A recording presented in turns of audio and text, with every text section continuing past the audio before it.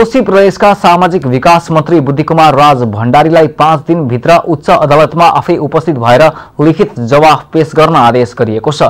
न्यायाधीश द्वय सत्यमोहन जोशी थारू र किरण कुमारी गुप्ताको संयुक्त इजालसले बुधबार मन्त्री राज भण्डारी विरुद्ध अदालतको अपहेलना गरेको मुद्दामा असार बिस गते दिनको एघार बजे अदालतमा उपस्थित भएर लिखित जवाफ पेश गर्न आदेश दिएका हुन्। मंगलबार अधिवक्ता उद्धव चन्द्र घिमिरे र रजिस्ट्रार जितेन्द्र बाबु थपलियाले उच्च अदालत विराटनगर नगरमा अपहेलना मुद्दा रिट निवेदन दायर गरेका थिए। आज न्यायाधीश द्वय थारू र गुप्ताको संयुक्त इजालसमा उक्त मुद्दाको पेशी पहिलो नम्बरमा तोकिएको थियो। निवेदक उच्च अदालतका रजिस्टर जितेन्द्र बाबु थपलियाको तर्फबाट वरिष्ठ अधिवक्ताहरू हेमराज पराजुली दिल्ली बहादुर कार्की हेमराज पन्थ अधिवक्ताहरू शिवप्रसाद आचार्य देवेन्द्र कोइराला र विश्वराम भट्टराईले पैरवी गरेका थिए। न्यायाधीशले पैसा खाएर स्टे अर्डर दिएको विवादित अभिव्यक्ति दिएपछि राज भण्डारी विरुद्ध उच्च अदालतमा रिट निवेदन दर्ता मुद्दा भएको थियो।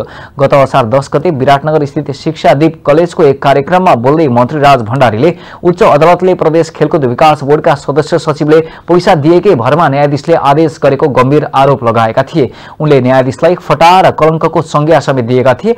मन्त्री राज भण्डारीले दिएको अभिव्यक्ति नेपालको संविधानको धारा एक सय छत्तिस न्याय प्रशासन दुई हजार त्रिहत्तरको दफा सत्र बमोजिम अदालतको अपहेलनाको बनेको जाहेरीमा उल्लेख गरिएको छ। न्यायाधीशको नाम किटान गरी संविधान र कानून कानूनको उल्लङ्घन गर्दै मन्त्रीले दिएको अभिव्यक्ति न्यायालयमाथि घृणा फैलाउने उद्देश्यले प्रेरित भएको दावी निवेदनमा गरिएको छ। कोशी प्रदेश सरकारको गत जेठ तीन गते बसेको मन्त्री परिषद बैठकले प्रदेश खेलकुद विकास बोर्डका सदस्य सचिव हंसराज वाग्लेलाई बर्खास्त गर्ने निर्णय गरेको थियो।